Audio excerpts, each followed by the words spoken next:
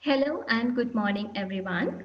So today I'm here to present my study on topic of Frommelt attitudes toward care of the dying scale form B, psychometric testing of the Sinhala version for nursing students. Authors of this study are AMMP Atapattu and Professor S.D. Dharmaratna. Let's move to the introduction. Nurses' attitudes toward caring for dying patients play an imperative role on the quality of the care provided. No validated tool that measures such attitudes is available for Sri Lankan Sinhala student nurses. Therefore, the aim of this study was to translate Frommelt attitudes toward care of the dying scale or FATCOD form B from English into Sinhala and to establish its validity and reliability within a Sinhala population of undergraduate nursing students. Methodology.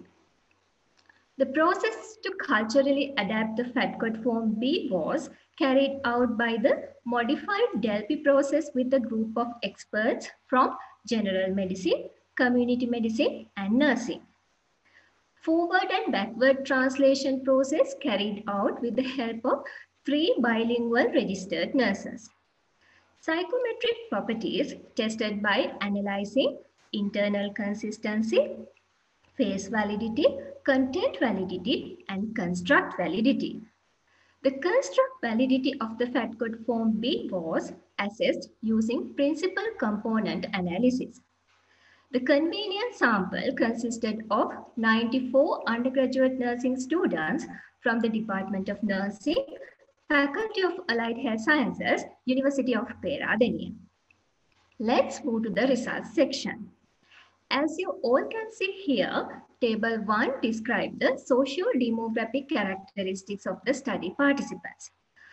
Out of total population, 75.5% were female and majority of participants were from second year.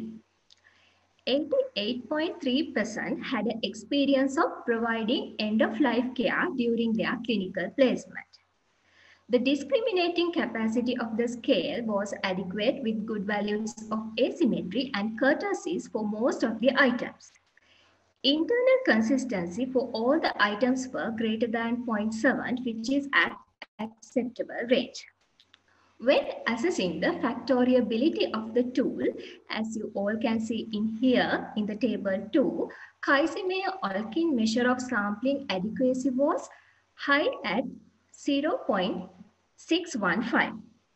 And the Bartlett's test of sphericity resulted in highly significant value.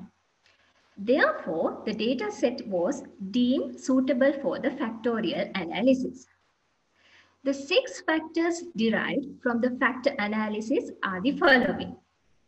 Acceptance and adaptation for the diet, fear or malaise, active care, communication, reassure of patient, and perception towards death.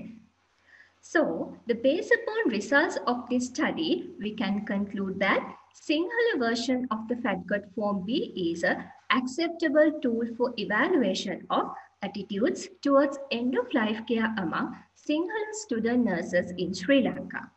Thank you.